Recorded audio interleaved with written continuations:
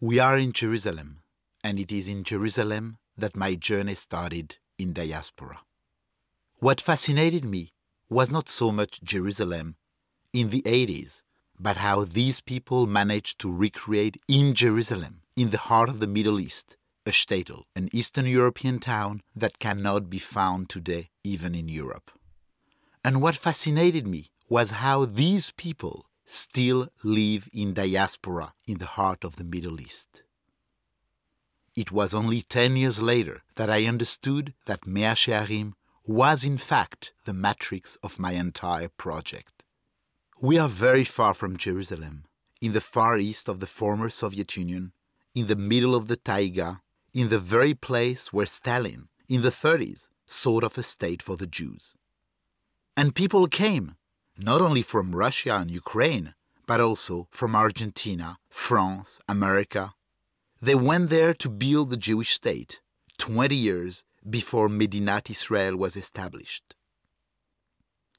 General Abram Davidovich Dragunsky, former leader of the anti Zionist committee, Brezhnev's man, a Jew himself, one of those Jews who dug the graves of other Jews. Sarah, a kolkhoz worker, Ilinka, a village deep in Russia. When I entered this room, I was just fascinated by the incredible capacity to take on so many identities, even that of Mujik. Doesn't the portrait of the grandfather above the bed look like an icon? Oba, Krasnaya Sloboda, in Azerbaijan, near the Caspian Sea. Central Asia, Margelan, not far from the Chinese border. Standing under the sukkah, the grandfather, who was a Stalinist, and his grandson, a komsomol, a young pioneer. Years later, I met this very man's son when I took a picture of taxi drivers in New York City. Bukhara, Central Asia. At the time of Hoshana Rabbah, there's a tradition of learning all night and here, obviously, there are nearly no books, and there is hardly anybody who still knows how to read Hebrew. But it is after midnight, and people still stay. Chaykhana, Rouba, Azerbaijan. I thought it was important to document the life and existence of Jews like these who had created flourishing culture, poetry, theater, music, and their own Judeo Persian dialect because they were always at the very margin of mainstream Jewish culture, known at best to a few scholars, and I wanted to reinscribe them in the chronicle of the Jewish people. I have never thought in terms of minor or major diasporas. A Jewish barber shop, Leninabad, Tajikistan. All the barbers are Jews, all the customers are Tajik Muslims. Mark Twain says, Jews are just like everybody else, only more so. I didn't foresee that 10 years later I would go to Israel and trace 20 families that I had photographed in different countries and then portray them in Israel. I found almost all the barbers, but of course, the customers needed to be replaced. In the Simien Mountains, not far from Eritrea, and it is hard for me to tell that these women are indeed the contemporaries of so many people I photographed in so many countries. The same women in Israel, except for the ones who died while escaping to Sudan. Ambober, province of Gondar. Early in the morning, Showada, Simien Mountains.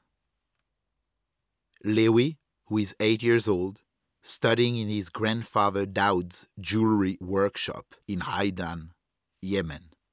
He is now in Rehovot. He has just emigrated to Israel.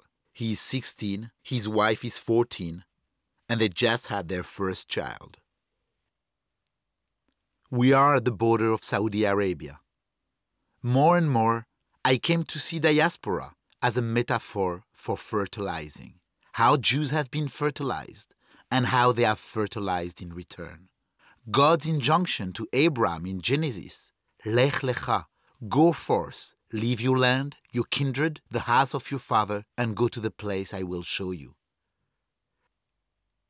We are in a blacksmith workshop, still in Yemen. Here are three children learning from one book. They have so few books that they have developed a tradition of reading upside down and sideways. The older brother in the background is following in the book to see if they are singing well. And the father, the blacksmith, knows the text by heart and corrects them. Calcutta. But in fact, it's really Baghdad in Calcutta. Some Jews escaped Baghdad in the mid 19th century and went not only to Calcutta, but to Bombay, Rangoon, Shanghai, Hong Kong, Singapore, and I trace their routes of escape. This project is a puzzle that I have been piecing together, but it is also like a game of matryoshka, a game of Russian dolls. Jews are a caste in Indian society, and they are known as a caste of people who press oil. When you go to a village, Indians, whether Hindu or Muslim, haven't heard of Jews. They know about the Shanwar Teli, which in the Marathi dialect means the oil press man who doesn't work on Shabbat. Awas, a small village. I try to include in the photographs some sign of what each community has kept of its identity. On the upper left side of the photograph, you can see a hand. There is a tradition among the Bnei Israel to slaughter a sheep on the eve of Passover, to place a hand in the blood, and to mark the wall of the house in order to remember that the Jews were saved from the plague which killed the firstborn in Egypt. Belmonte, Portugal. Certainly the most extraordinary example of survival. We are not talking of 50 years, not even 100 years, but of 500 years, the last group of Marranos. Officially, these people are Catholics, baptized, married, and buried by the priest. Yet, underneath, they have kept a complete double identity. They keep the Shabbat, they keep the fast of Esther, Yom Kippur, and Passover. For them, the secret became part of the ritual. It is a ritual within the ritual. Across 20 countries, I found that the communities of Sephardic Jews have become very different one from another unlike the image the term Sephardic Jews conveys or their common origin might suggest. Here we are in Bordeaux. This is a tribute to the Rabbah family. Jan Ben Walid, Tangier, Morocco. If you open a picaresque novel, he is what you will find. For me, he is a Don Quixote. Abraham and Irma Lopez Cardoso in the Spanish Portuguese Synagogue, New York City. Isaac Macias, a Judeo Spanish Bobby, Gibraltar, in front of Bevis Mark Synagogue. Dias de Mesquita, Gomez Brito. The Jews have truly been the ambassadors of the Iberian spirit. But the amazing thing is how the people call themselves by the names of the country which kicked them out and how they reclaim an identity of which they have been deprived. The most beautiful example is the Jews expelled from Castilla who went to Tetuan. They built a cemetery and called it Cementerio de Castilla. And they turned their tombstones not toward Jerusalem, but towards Castilla. Sofia, Bulgaria, the Astrukov family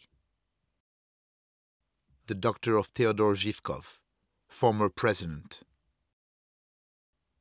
Sarajevo, two months before the war. The parents live today in London and the daughter lives in Madrid. Manaus, on the Amazon River. At the time of rubber boom, Jews left mainly from Tangier and Rabat in search of new opportunities and went all along the Amazon River from Belém de Pará to Iquitos. Here are the Benchimol at the opera. The Curiel family. I like this photograph because of the many layers. You have the Dutch room, the French room, and also look at the azulejos being reflected in the mirror above the flowers. Saloniki, Greece. I only took one photograph. 96% of the community was exterminated in the Holocaust. How to remain such an hidalgo in such a Calvinist society? David Cohen Pereira looks more like a figure in a Velázquez painting than a man who lives in Amsterdam and whose ancestor arrived there from Portugal 400 years ago. The Jewish Theological Seminary, New York City. How Jews have reinvented themselves in America, this extraordinary experimental laboratory which never existed, at least not on this scale, not even in the Hellenistic period and also how women have played a major role in restoring a vertical dimension, a spiritual dimension within Judaism. Nice Jewish boy, a moving company in Palm Beach. There is not a single Jew here.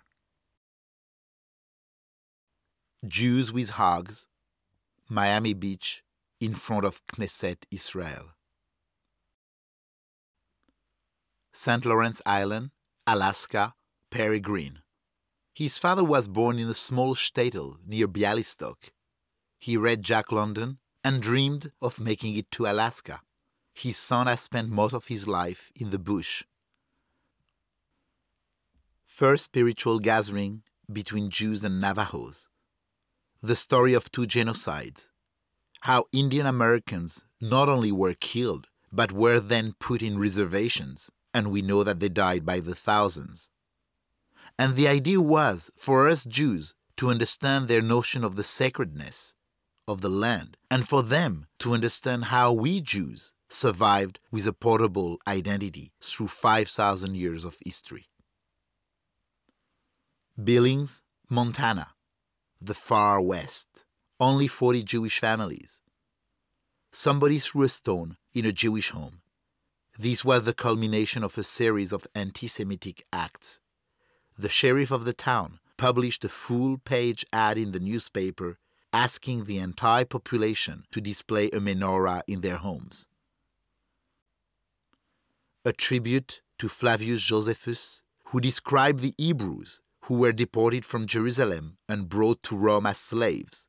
The most valiant had to fight as gladiators in the Colosseum. The Jews never succumbed to the temptation of idol worship. Yet today, at the heart of Christianity, it is they who have the monopoly on selling icons. Homage to the victims of Hadrian, Villa Adriana. In the Campidoglio, Roberto Di Segni. They are all here Titus, Adrien, Alexandre Sever, and he's a Jewish peddler that I met in the market this capacity to become the other and still remain oneself. The Hebrew Academy, Las Vegas. Egypt as the matrix of Western civilization, and the place where the Jews were, for the first time, named as a people. The New York Psychoanalytical Society, 14 of the most famous New York psychoanalysts in the Holy of Holies of the Freudians, Vienna in Manhattan.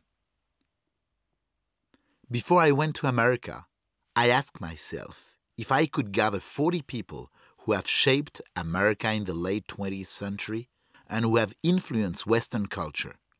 It was only by the end of this second year journey in America that I finally photographed all 40 of them with this modern day Alexandria in the background. Jews escaped pogroms at the end of the 19th century and left Lithuania. Many of them went to South Africa. The Krug brothers, casino owners in Johannesburg. Steve Cohen, drag queen, Johannesburg. Johannesburg, South Africa. I arrived for the first time and my very first meeting was with Brenda, who teaches Jewish cooking to black maids. I had already visited Argentina, and I went back in 1999 because I wanted to see Moisesville, the place where, at the end of the 19th century, Jews who escaped pogroms in Russia went to find a refuge and to build a better world. I went there, but when I came back to Buenos Aires, I met some madres de desaparecidos, mothers of the missing.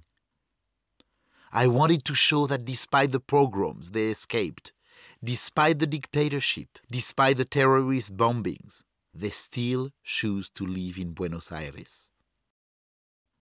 Hartmut Bomhoff, Potsdam, Germany. Back in Europe. It took me 23 years to face what I had managed to elude by escaping the very continent where I was born. Finally, I had to confront loss and mourning. Grunewald Station, Berlin, David Epperstein. Davide Calimani, Venice. Wanda Reisel, Amsterdam. Hetty Berg, Amsterdam. Gerald Godfrey, London, judge, decorated with the Order of the British Empire for 15 years of loyal service to Her Majesty the Queen. Elfriede Jelinek, Stephansdom. When Herzl thought that the only solution to the Jewish problem would be a mass conversion to Christianity, his idea was that all Jews would be brought to this cathedral for conversion. And yet, one year later, he changed his mind and he wrote a book offering a different solution Altneuland, envisioning the creation of a Jewish state. Frederica Habsburg, Vienna, convert to Judaism. Peter Menasse, Vienna, and the attic where still remain the casts which, up until not long ago, were part of the display of an exhibition on the theory of races developed in Vienna. My journey started in Jerusalem, in a recreation of an Eastern European shtetl in the heart of the Middle East, on the day of Purim. My journey ends almost 25 years later, also on Purim. There are no more Jews in Tikochin, where, during the Holocaust, 2,000 Jews were brought to the main square of the village and then led in a procession to the forest and slaughtered in two days. Today, in Tikochin, a group of Catholic Poles, from the truck driver to the priest, dress up as Jews on Purim. Hong Kong, Purim, on the last piece of reclaimed land, Michael and Michelle Cohen teachers. In front of the Tiananmen Gate, the Jewish community of Beijing. If nations define themselves by and through territory, then the territory must be protected. And so you have this wall running 6,000 miles, and there is a people who believe we all protect territories which do not exist, and the only reality is this journey, the book, the word,